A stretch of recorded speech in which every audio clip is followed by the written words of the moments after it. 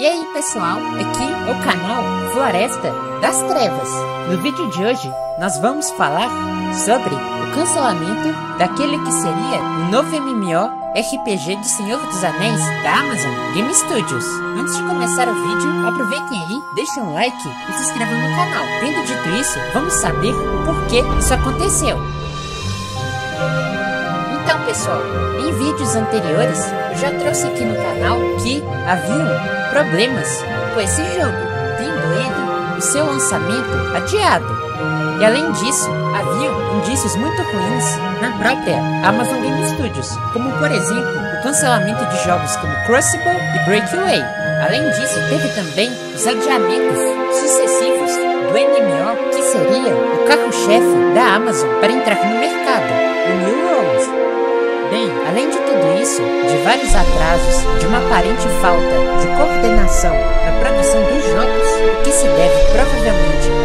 de experiência da empresa com o mercado, apesar do seu tamanho enorme, a Leiyu, empresa chinesa que era parceira da Amazon no desenvolvimento do jogo, foi comprada pela Tencent, o grande conglomerado de jogos chinês que é dono da Riot Games e também dono de parte das ações da Activision Blizzard.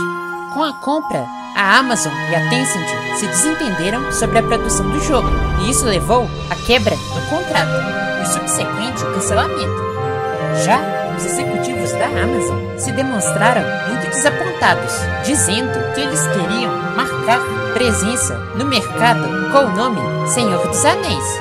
Enfim, a Bloomberg, a agência que trouxe a notícia, não especificou nada sobre quais seriam exatamente as questões contratuais que levaram ao cancelamento, e nem se isso tem a ver com as recentes disputas econômicas entre Estados Unidos qualquer jeito, para quem quiser jogar um MMO na Terra-média, ainda temos o nosso bom e velho Lothar, que ainda vai quebrar galho para quem não liga para gráficos de última geração e essas coisas.